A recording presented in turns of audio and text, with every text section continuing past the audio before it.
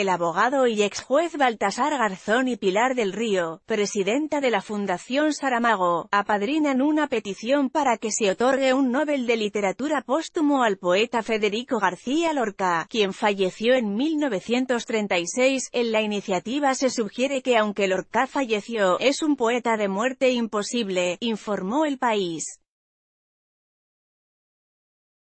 Garzón indicó que dar este premio a título póstumo a autores que vieron su vida truncada dignificaría al Nobel de Literatura. El galardón no se falló este año luego que la Academia Sueca, institución que se encarga de la entrega del máximo galardón literario, se vio envuelta en una polémica por acusaciones de acoso sexual y filtraciones de nombres de ganadores antes de darse a conocer.